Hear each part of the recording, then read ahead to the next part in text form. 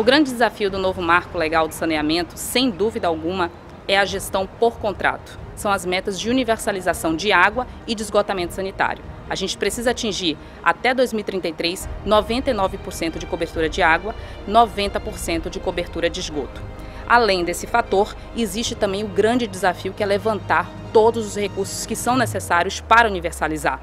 E isso são bilhões e bilhões de reais que o Brasil inteiro vai ter que movimentar nos próximos 11 anos. E com isso a gente vai contar muito com a ajuda do próprio Citibank para que a gente consiga de fato atingir a meta da universalização em 2033. Sem dúvida nenhuma, esse relacionamento com o Citibank ele vai render muitos frutos.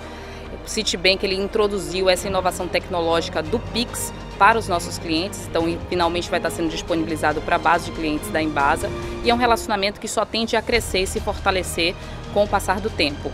Além disso, a gente conta também com o apoio do Citibank para que a gente consiga cumprir as metas da universalização do saneamento até 2033, já estabelecidas nos contratos.